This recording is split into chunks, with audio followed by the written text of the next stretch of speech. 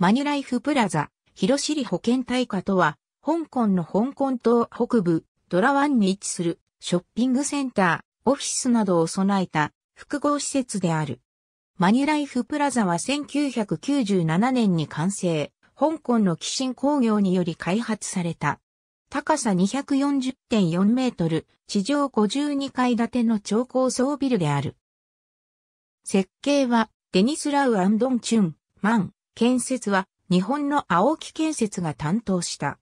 この場所には以前リーガーデンホテルがあったが、1994年8月に再開発に入ったため取り壊された。場所は、李、園山のぞみ振動で繁華街より少し奥まったところにあるが、周囲よりは高い建物であるのですぐに確認できる。また周辺は、ドラ湾の中では静かな佇まいのある区域である。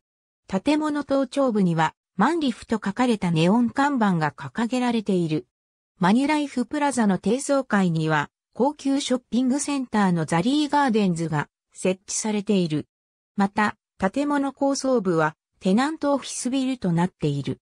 ザリーガーデンズはマニュライフプラザ内の第1期とカラン中心にある第2期に分かれている。ザリーガーデンズ。ありがとうございます。